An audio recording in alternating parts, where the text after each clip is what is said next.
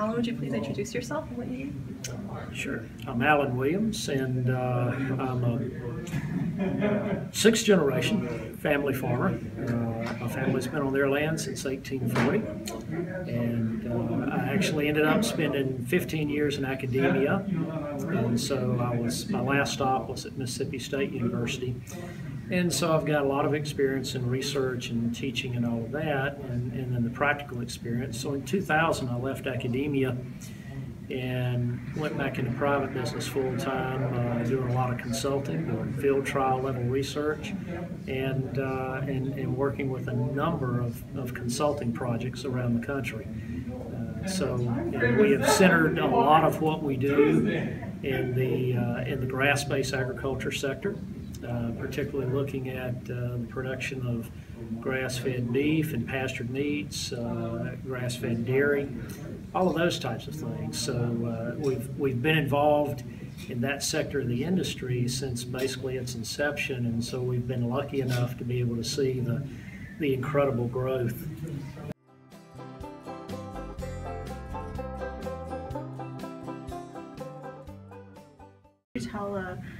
Who's looking to get into the grass-based business about the opportunities in this industry? Well, that's a very good question. I, the first thing that I would do, uh, you know, for those that are interested in getting into the grass-based sector, uh, the first thing that I would say is that there are significant markets, premium markets that are available to them, you know, and, and so it, it allows them to be able to get out of the grind of having to compete in the commodity sector and to know that they've got premiums that are very steady, uh, very dependable, and that are actually growing. Uh, so this whole sector has has grown in double digits, experienced double digit growth for more than uh, a decade now. Uh, so their opportunity is tremendous. Uh, the other things, though, is that even without the premium markets, uh, what we're finding is that by utilizing better grazing practices, uh, you know, like what we teach, the adaptive grazing and all of that, uh, by utilizing better grazing practices and concentrating on building soil health, that you significantly cut your input cost, you increase your productivity, your livestock perform a lot better, and so your net profitability is, is significantly higher.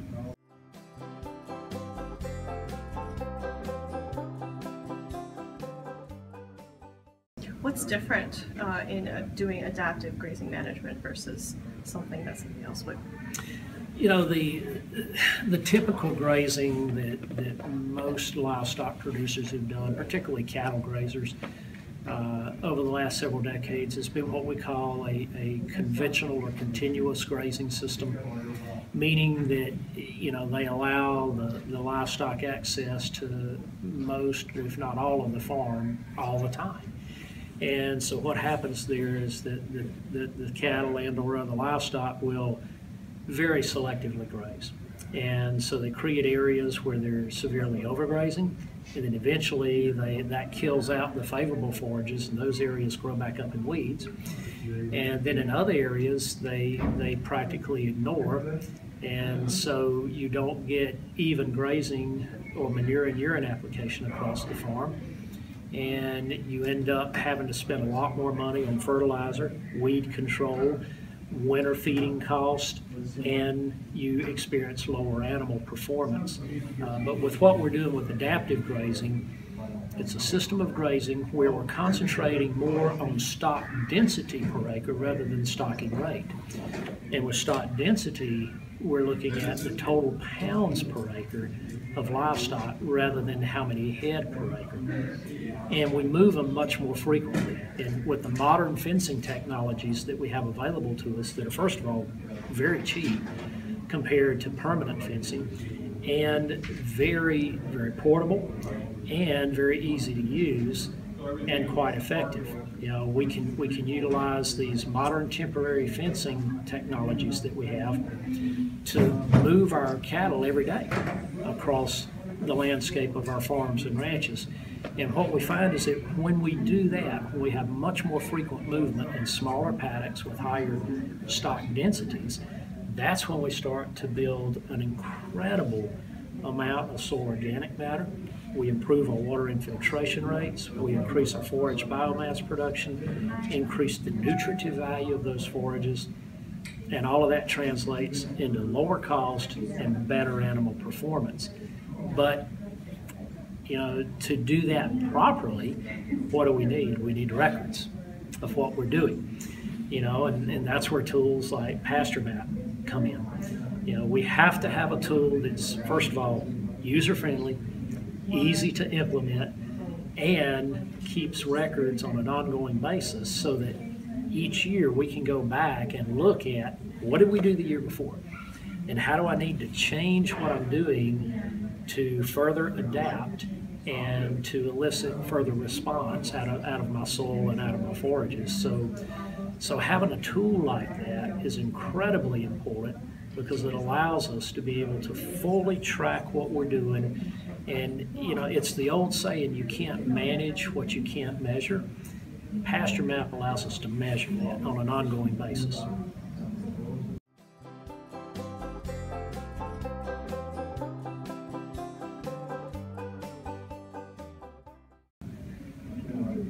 What is the value of going back and seeing what you did on your paddocks? Like, what are the decisions that someone might make differently once they see the records?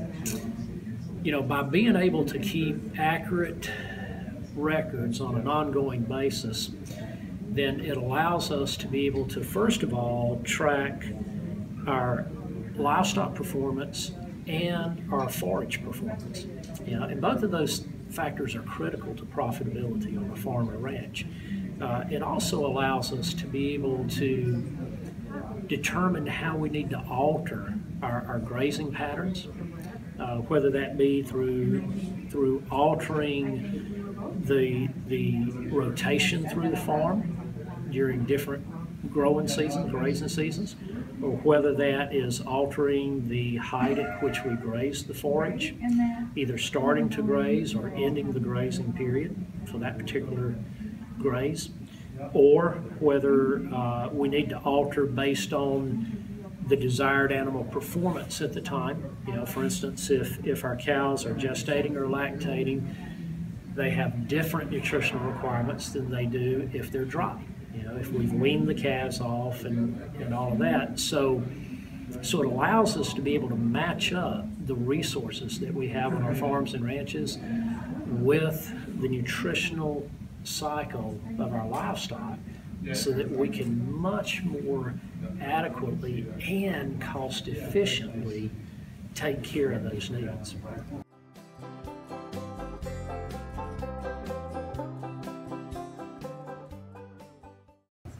Um, could you talk about the potential value of having data for the future of soil carbon sequestration on grasslands? Yes. Uh, you know, we're looking at uh, efforts that potentially could pay farmers and ranchers for carbon sequestration on an annual basis, so annualized accrual of carbon in the soil. We're also looking at a number of other potential uh, payments that farmers could accrue through conservation efforts, uh, you know, and, and even things like uh, the return of pollinators, uh, grassland bird habitat. You know, I'm working with Audubon to develop bird-friendly grazing protocols, and uh, and so we're looking at a lot of potential incentives here. That if if we're a farmer or rancher we're already using adaptive grazing and keeping these records, then this allows us to be participatory in these other programs that basically become almost uh, you know the secondary income stream that we get we get to get paid for what we do already. And that's a wonderful thing. So so it allows us to be able to validate and verify you know, those practices that we're doing that then allow us to qualify for those payments side, I really enjoy thinking about ranchers being the heroes of yeah, carbon exactly. sequestration instead of the villains of you know, exactly. environmental pollution. Um,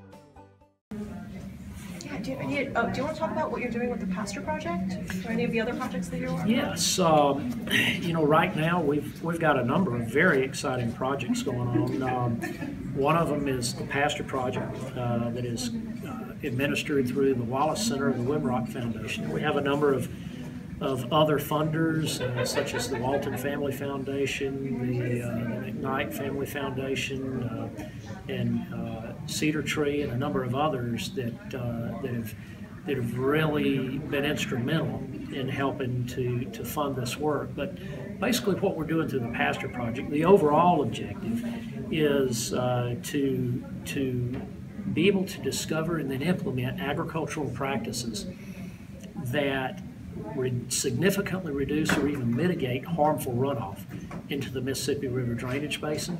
And then, of course, ultimately to significantly reduce that dead zone that appears annually in the Gulf of Mexico. Uh, and that harms, you know, our fisheries, estuaries, all of that. So within that project, what we have determined to do is to heavily promote and to do research in uh, grass-based agriculture particularly centered in the upper Midwest. Uh, so we've been doing that now for the last four years, and we're actively promoting grass-fed production and, and therefore the need to keep the records that we have to have uh, to validate that. And we're also actively promoting the integration of cover crops and livestock into row cropping operations. And we're making a lot of inroads there. And, and so as we get more farmers involved with cover crop planting and then introducing livestock impact, you know, that further serves to reduce harmful runoff and, uh, and at the same time, you know, reintroduces these row crop farmers to uh, revenue streams from adding livestock back into their operations. That's so awesome. Another project that we're working on that we're quite excited about, uh, we call ourselves Team Soil Carbon, but we are a consortium of scientists and, uh, and industry experts and farmers and ranchers that have banded together, and, and the scientists from are from a number of different universities, even different countries. But the whole purpose of Team Soil Carbon is to measure on ranches and farms all over North America uh, the soil health parameters, including total soil carbon, organic carbon fractions, inorganic carbon fractions, organic matter, all of that, that we're able to achieve through adaptive grazing practices. And so we, what we're doing is we're collecting data to combat some of the negative research that's out there that, that says that you know livestock are bad for the land. We need to remove them from the land. Uh, our results are actually finding quite the opposite. That once we reintroduce livestock back to our grasslands, particularly using adaptive grazing, you know, and, and not just continuous grazing, but, but very specifically adaptive grazing, that we're actually much more rapidly restoring that land to its original native state. Our soil microbial populations are exploding, wildlife populations are exploding, our bird populations, pollinator populations, all of that are increasing dramatically. Uh, so the purpose of Team Soil Carbon is to validate that so that we can then encourage more farmers and ranchers to do the same practices. Any other projects? Well, we're, uh, we're working with a number of, uh, of organizations and farmers in the lower Mississippi Delta region to, and this is specifically related to, uh, again, the reintroduction of cover crops and livestock on these farms. And, and we have a lot of farmers who were very conventional commodity farmers uh, that are now actively planting cover crops and have integrated livestock.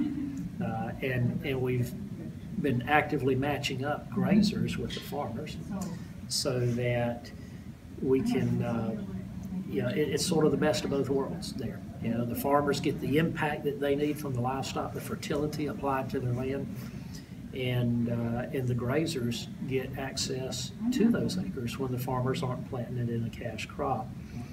So that's been very exciting. And, uh, and, and of course, we're continuing to work in, in, in the grass-fed beef, grass-fed dairy, and pastured meats sector, and, uh, and working with more and more farmers on what we call enterprise stacking. You know, where we're, we're encouraging them to look at multi-species impact and even multi-enterprise impact. And then we're documenting both the enhanced profitability and sustainability and the, uh, the, the very positive impacts on the land, you know, that, that those practices are having. So, uh, uh, and as a matter of fact, we've, with Peter Byck, the filmmaker from Carbon Nation and who did Soil Carbon Cowboys and Soil Carbon Curious, we have filmed a whole series of films relative to that. And they're getting ready to come out in 2016. So we're going to have some new soil carbon cowboy films that are uh, specifically related to the the multi-species enterprise stacking approach.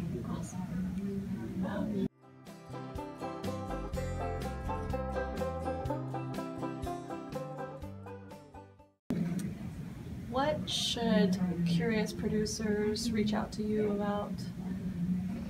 Well, if they want to hear and better understand what their opportunities are, uh, and again, you know, understanding my background, that I'm a sixth generation and, and I have grandkids now, so we actually have eight generations on the ground. Uh, that heritage is very important to me. I'm, I, I value that. And I want my children, my grandchildren, my great grandchildren to have the opportunities that I have on the land. But for them to have that, we got to rebuild what we messed up, number one, and we have to make it profitable for them. You know, they're not going to come back to the land if it's not profitable. And they need to know how to do it the right way so that then they can pass it down to future generations after them. So to me, that's what it's all about. And if and if there are other farmers and ranchers out there that want to know how to do this and want to know how to be truly profitable and sustainable, and, not just sustainable but regenerative, you know, then this is an opportunity to get that done. Uh, you know, we can we can show them what we're doing. We can share with them our data. Uh, we can even connect them with other farmers and ranchers that are doing this, and, and that's very valuable because as a farmer and rancher, I know you want to see other farmers and ranchers that are doing this and learn from them and not just hear somebody talking about it or read about it somewhere. So we can help facilitate. We, we do a lot of, we help arrange a lot of farm and ranch tours and, um, uh, you know, and if they want to know about alternative markets uh, and opportunities to capture premiums in those markets, we can help them with that. Uh, so this, there, there's a whole host of things that, that we can help them with and we can share with them. Thank you so much, Allen. Sure. That was very inspirational.